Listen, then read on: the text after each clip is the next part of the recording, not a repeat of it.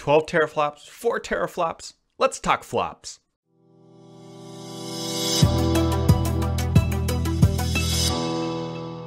What's up everybody, Brad here, and this week has been a buzz with flops. Not flip-flops, but teraflops for the next generation of this, which is known as Anaconda and Lockhart, all in the Scarlett console family. Now, last week there was a lot of noise about Lockhart not being dead, and it's still coming back. And this week it's all about teraflops. And so this all got kicked off by my buddy Jez, uh, who wrote up this, and I'll throw it up on the screen right here. It says Anaconda is targeting around 12 teraflops of computing power compared to the Xbox One X's 6 teraflops. The Xbox One S has 1.4, Lockhart conversely will sport around 4 teraflops. Now that might sound a little odd because in that scenario, Lockhart at 4 teraflops is actually less powerful than the currently shipping Xbox One X, but I think that makes sense and we'll get to that in a second.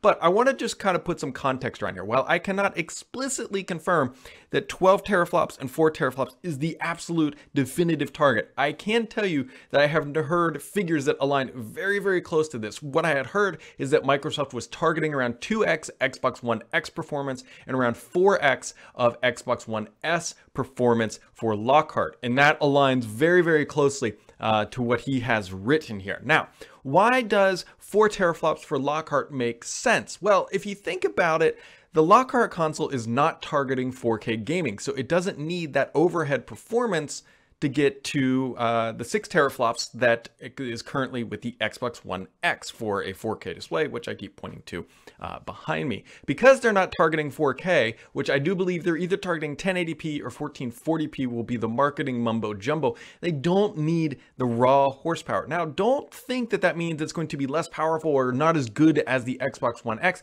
You got to remember there's going to be significant improvements, one, in not only the optimization of the CPU, which I believe is going to be the same as the Anaconda console, but it might be clocked down a bit lower. Um, but it's also going to have a solid state drive as opposed to the spinning Rust, Rust that currently ships in all Xbox consoles. you have got those platter drives. You're also just going to have better PCB experiences. Everything about the console will be better minus the raw output, but you're going to still have that faster loading times. You're still going to, I believe, um, I'm curious if ray tracing, I believe, will make it into that, but I'm not, can't quite confirm that. But the idea here is that you don't need as much performance because they're targeting a much lower resolution and they're doing all that so that they can have a lower entry price to get into the next generation Xbox family, which makes a lot of sense. Now, on the 12 teraflop side for Anaconda, that again aligns to everything that I had. I went back through everything I've heard over the past couple months from reputable locations, and it that sounds about right. Now, that could shift wildly. We, we don't know. We are still about 10 months away. I believe we're still a couple months away from being a full spec lockdown at this point, and then I would expect a, a console reveal party or extravaganza uh, maybe four to five ish months from now. Uh, is what I'm hearing, but we'll still see. Everything is still fluid at this time. So, with all that being said, I think I think his report is pretty accurate. He's also hearing, uh, which I have heard as well, around 16 gigs of uh, RAM are going to be in the machine, with three for the OS and then um, 13 for games, which should give a healthy amount of buffer space for those high performance games. Now, one of the issues we had earlier this year that kind of led to some of the demise or rumors of Lockhart's death is that developers were targeting the Lockhart console and scaling up rather than targeting the Anaconda console and scaling down. I haven't heard how Microsoft has gotten around this or what they're telling developers, but clearly that is going to be something that is on the mind and maybe one of the reasons why they're holding back. I don't know. Microsoft is definitely later in the game of getting their development kits out to publishing third-party publishing parties uh, at, compared to what Sony has done. So we will we'll be curious to see how that shakes out. So uh, the for the Xbox One X by uh, comparison, by the way, has nine gigs for games. So you're going from nine to 13. So you know, it should be, it not should be, it absolutely will be a better gaming experience than the Xbox One X. The biggest question really becomes now is chip yield. That is the thing that if you're not familiar with it, every time a chip comes out of the factory or the ovener that you will, it gets tested, right? It has to meet certain performance characteristics, right? Everything is on paper of this is what the chip should do. Then you have to actually test it in real world and then chips get binned. Um, ones that do higher performance get bin, it's called binning, um, get, you know, a higher tier bin and, and lower tier bins for underperforming chips.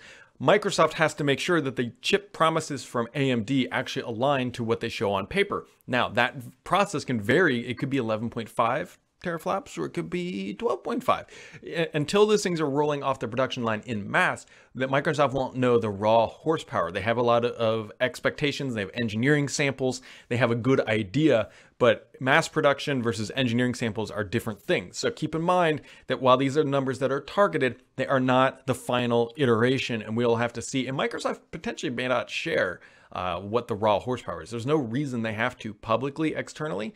Um, although Stadia came out and said, hey, we, we've got more teraflops than um, local consoles. Um, so I would expect that Microsoft come out and try to best them potentially in some capacity, but we will see. So that is what I'm hearing about these numbers. They sound they sound in the ballpark of what I was expecting.